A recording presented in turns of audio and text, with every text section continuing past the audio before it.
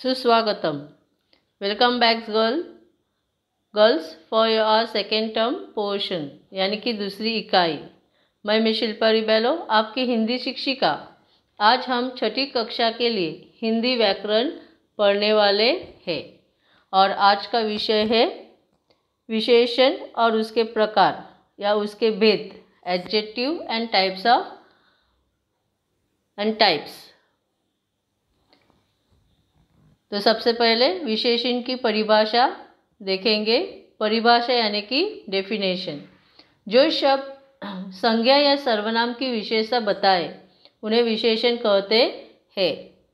यानी कि संज्ञा संज्ञा मतलब नाउन सर्वनाम मतलब प्रोनाउन तो संज्ञा और सर्वनाम नाउन्स और प्रोनाउंस का इम्पोर्टेंस बताए, उन्हें विशेषण कहते हैं एडजेक्टिव कहते हैं, जैसे काला बड़ा, दयालु, कायर आदि। ये सब वर्ड से वो किसी न किसी का इम्पोर्टेंस बताते हैं, विशेषता बताते हैं। तो शब्द हुए विशेषण। विशेषण में विशेष्य का भी महत्व है। अब विशेषण किससे कहते हैं? जिन संज्ञा और सर्वनाम शब्दों की विशेषता बताई जाती है, वे शब्द विशेष्य होते हैं। जैसे गुब्बारे वाला रंग बिरंगी गुब्बारे लेकर खड़ा है। यहाँ क्या? गुब्बारे वाला। क्या लेकर खड़ा है? रंग बिरंगे गुब्बारे लेकर खड़ा है। तो रंग बिरंगे क्या हुआ? वो गुण है। क्या लेकर खड़ा है? गुब्बारे। गुब्बारे मतलब बलून्स। लेकिन गुब्बारे कैसे है? रंग बिरंगे तो रंग बिरंगे का मतलब गुब्बारे का गुण दिखाया है कि रंग बिरंगे है वो कैसे है? कलरफुल है। तो रंग बिरंगे क्या हुआ? विशेषण और रंग बिरंगे क्या है? गुब्बारे है। तो गुब्बारे क्या हुआ? विशेष्य सो so, रंग बिरंगे गुब्बारे ए क्या हुआ?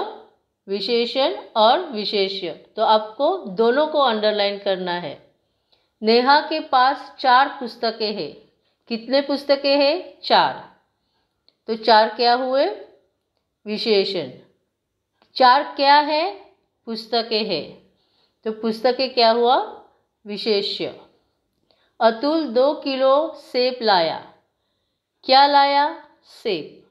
कितने लाए? दो किलो। तो दो किलो क्या हुआ? विशेषण। क्या लाया? सेब। तो सेब हुआ विशेष्य। तो विशेषण के चार भेद होते हैं। गुणवाचक विशेषण, संख्यावाचक विशेषण, परिमाणवाचक विशेषण, सार्वनामिक विशेषण। सार्वनामिक विशेषण को संकेतवाचक विशेषण भी कहते हैं।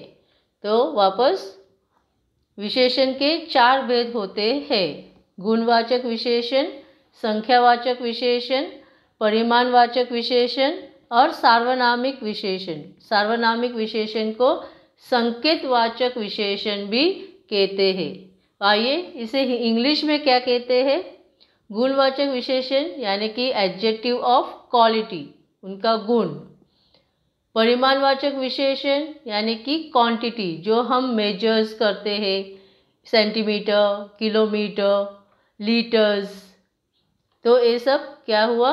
परिमाणवाचक विशेषण क्वांटिटी संख्यावाचक विशेषण, यानी कि adjective of numbers one to hundred जो वस्तु का, मनुष्य का, जगह का, जो संख्या बताते हैं नंबर्स बताते हैं, उसे एडजेक्टिव ऑफ़ नंबर संख्यावाचक विशेषण कहते हैं।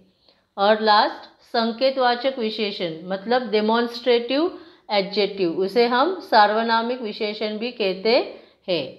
तो हिंदी में गुणवाचक विशेषण, परिमाणवाचक विशेषण, संख्यावाचक विशेषण और संकेतवाचक विशेषण, यानी कि सार्वनामिक विशेषण। गुणवाचक विशेषण को एडजेक्टिव ऑफ़ क्वालिटी परिमाणवाचक विशेषण को एडजेक्टिव ऑफ़ क्वालिटी क्वांटिटी संख्यावाचक विशेषण को एडजेक्टिव ऑफ़ नंबर और संकेतवाचक विशेषण, यानी कि सार्वनामिक विशेषण को डेमोन्स्ट्रेटिव एडजेक्टिव कहते हैं। तो आइए एक एक प्रकार देखेंगे। गुणवाचक विशेषण।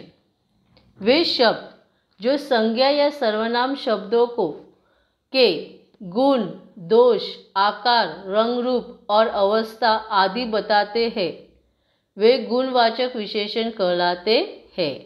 तो संज्ञा और सर्वनाम संज्ञा और सर्वनाम, किसी वस्तु पशु पक्षी, प्राणी, मनुष्य जगह जिनका गुण, दोष, आकार, रंग, रूप और अवस्था कंडीशन उनके महत्व बताते हैं, गुण बताते हैं, उसे गुणवाचक विशेषण कहलाते हैं। जैसे सुंदर, वो सुंदर लड़की है, ताजमहल सुंदर है तो उनका गुण ताजमहल क्या है? संज्ञा। तो संज्ञा का गुण बताता है सुंदर। सुंदर, गुलाबी, ऊँचा, गोल, मोटा, काला, कायर, बहादुर, परिश्रमी, कामचोर, स्वस्थ, दुर्बल आदि, ये सब क्या है? गुणवाचक विशेषण के वर्ड से एग्ज़ाम्पल से। तो सुंदर यानी कि गुण, गुलाबी अच्छा गुण। ऊँचा, हिमालय ऊँचा है। गोल, आकार। तो ये सब वर्ड्स गुणवाचक विशेषण के उदाहरण है। अब संख्यावाचक विशेषण। जो शब्द संज्ञा या सर्वनाम की संख्या या गिनती बताते हैं, वे संख्यावाचक विशेषण कहलाते हैं। मतलब कक्षा में पाँच विद्यार्थी है तो विद्यार्थी क्या है? संज्ञा। संज्ञा पाँच विद्यार्थी। तो संज्ञा की संख्या बताई गई है, गिनती बताई है, नंबर बताया गया है तो उसे संख्यावाचक विशेषण कहते हैं। जैसे पिक्चर के नीचे आप देख सकते हो, छत की मुंदरे पर चार चिड़िया बैठे हैं। छत की मुंडेर पर चार चिड़िया बैठे हैं। तो चिड़िया क्या है? संज्ञा। तो संज्ञा की गिनती कितनी, संख्या कितनी बताई है? चार। तो चार चिड़िया विशेषण, गुण, संख्यावाचक विशेषण। तो चार चिड़िया क्या हुए? संख्यावाचक विशेषण। अब दूसरे वाक्य, कुछ लोग सड़क पार कर रहे हैं। तो यह संज्ञा क्या हुआ? लोग। तो लोग के बारे में उन्होंने बताया कि कुछ लोग, पता नहीं कितने नंबर है। माइट भी आठ है, दस है पंद्रह है, बीस है, कितने पता नहीं, लेकिन कुछ लोग सड़क पार कर रहे थे। तो ये सब क्या है? संख्यावाचक विशेषण। अब संख्यावाचक विशेषण में दो प्रकार है। निश्चित संख्यावाचक विशेषण मतलब पक्का नंबर पता है आपको, बराबर सही नंबर पता है, और अनिश्चित संख्यावाचक मतलब आपको नंबर पता नहीं, कुछ, करीब तो ये दो टाइप से संख्यावाचक संख्यावाचक विशेषण में। निश्चित संख्यावाचक विशेषण मतलब जिन विशेषण शब्दों से किसी की निश्चित संख्या का पता चलता है परफेक्ट नंबर पता चलता है, उन्हें निश्चित संख्यावाचक विशेषण कहते हैं। अगर आपके, आपको बर्थडे सेलिब्रेट करना है तो मम्मी, पहला क्वेश्चन मम्मी क्या पूछेगी? कि अरे, तुम्हारे क्लास में कक्षा में कितने विद्यार्थी है? तो आप कहेंगे चालीस है। परफेक्ट नंबर यू नो अगर पूछेंगे कि टीचर्स कितने हैं? मम्मा पता नहीं। शायद तीस या चालीस रहेंगे। कुछ तो ऐसा है। सो चालीस विद्यार्थियों पक्का है। Perfect number you know that is निश्चित संख्यावाचक विशेषण। लेकिन चालीस है या तीस है वो पता नहीं टीचर्स कितने तो कुछ तो टीचर्स है तो वो हुए अनिश्चित। तो ऐसे ही यहाँ मेरे पास चार कलम है। चार कलम कितने हैं? पेन कितने हैं? चार, पक्का चार है। तो ये चार, तीन हज़ार, दस से ये क्या हुआ? निश्चित संख्यावाचक विशेषण। पक्का आपको नंबर पता है। परफेक्ट नंबर यू नो ये हुए निश्चित संख्यावाचक विशेषण। मेरे पास चार कलम है, चार कलम। हमारे विद्यालय में तीन हज़ार विद्यार्थी है, तीन हज़ार विद्यार्थी। रोहन ने दस सेप लिए, दस सेप। वैसे आगे एक लड़की स्कूल जा रही है। कितने लड़की? एक। एक लड़की। चार आम लाओ। चार आम। राम कक्षा में प्रथम आया तो एक, चार, प्रथम, चार, तीन, हज़ार, दस, ये परफेक्ट नंबर पता है। इसलिए ये क्या हुआ? निश्चित संख्यावाचक विशेषण। अब अनिश्चित संख्यावाचक विशेषण। जिन विशेषण शब्दों से निश्चित संख्या का पता नहीं चलता है, उन्हें अनिश्चित संख्यावाचक विशेषण कहते हैं। जैसे बाज़ार में अनेक दुकानें हैं कितनी दस है, बारह है, पता है क्या? नहीं, बहुत सारे हैं। इसलिए क्या? अनेक दुकानें थी, बहुत सारी। तो अनेक, बहुत एक क्या हुआ? अनिश्चित संख्यावाचक। परफेक्ट नंबर पता है क्या? नहीं। You don't know the perfect number कि दस है या बारह दुकानें हैं या बीस है या चालीस है। अनेक दुकानें थी। तो अनेक क्या हुआ? अनिश्चित संख्यावाचक विशेषण। फूल वाला बहुत से फूल लेकर खड़ा है।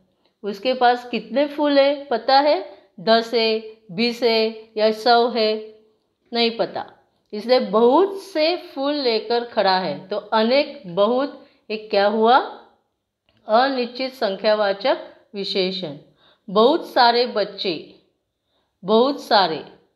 कुछ रुपए दे दो। कुछ। दस, बीस, चालीस, ऐसे कुछ नहीं बोला। कुछ तो कुछ रुपए तो दो। थोड़ा अनाज लाना। कितना का है? नहीं पता। थोड़ा थोड़ा अनाज लाना। अब हम देखेंगे तीसरा प्रकार, परिमाणवाचक विशेषण। परिमाण का अर्थ है माप या तौल। जैसे मैंने कहा मेज़रमेंट वेटिंग वेट मेज़रमेंट तो उसे परिमाणवाचक विशेषण कहते हैं। क्वांटिटी संज्ञा या सर्वनाम शब्दों का माप तौल बताने वाले विशेषण शब्दों को परिमाणवाचक विशेषण कहलाते हैं। जैसे हम दुकान में जाते हैं, एक लीटर घी, एक किलो शक्कर तो उसे क्या कहते हैं? परिमाणवाचक विशेषण। जैसे मुझे चार मीटर सॉरी, मुझे चार लीटर दूध दे दो। कितने लीटर चाहिए? चार लीटर। से परफेक्ट नंबर पता है, चार लीटर। मुझे एक किलो घी देना। परफेक्ट नंबर तो ये सब क्या है? थोड़ा पानी, दो किलोमीटर दो किलोमीटर रास्ता, तीन लीटर तेल, एक किलो घी, थोड़ा, थोड़ी चीनी। सारा गेहूँ। ये सब क्या हुआ? परिमाणवाचक विशेषण। अगर हम देखेंगे पानी, रास्ता, तेल, घी, चीनी, गेहूँ, ये सब क्वांटिटी ये मापते हैं और तोलते हैं। तो ये सब क्या हुआ? परिमाणवाचक विशेषण। अब परिमाणवाचक विशेषण में भी दो प्रकार है। निश्चित परिमाणवाचक विशेषण और अनिश्चित परिमाणवाचक विशेषण। अब आपको कंफ्यूज नहीं होना है संख्यावाचक विशेषण और परिमाणवाचक विशेषण में। संख्यावाचक विशेषण में हमने क्या पढ़ा?